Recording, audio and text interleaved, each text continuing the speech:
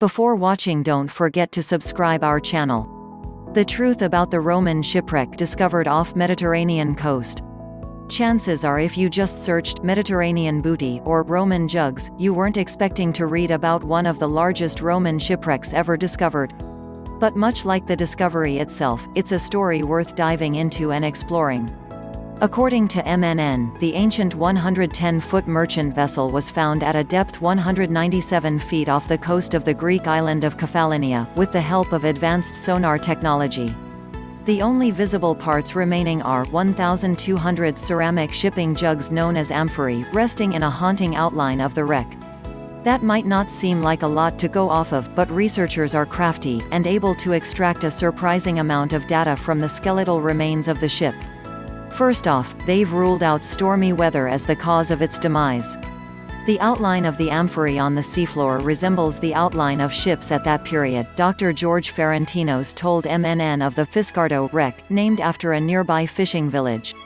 This indicates that the cargo has kept the outline of the ship, suggesting that the ship sank very slowly in an upright position and then came to rest on its keel and then gradually tipped in the one side with the hull keeping its overall structure.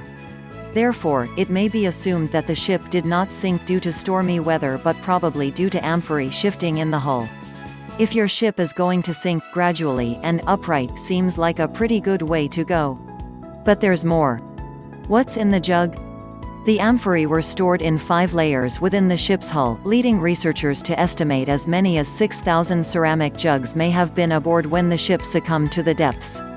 It's also estimated that the Fiscardo and Roman ships like it were capable of transporting up to 400 tons of cargo to ports throughout the Mediterranean and beyond. And there's an even more interesting layer to this ship cake, they might be able to tell what was inside of the amphorae, and how old the ship itself was.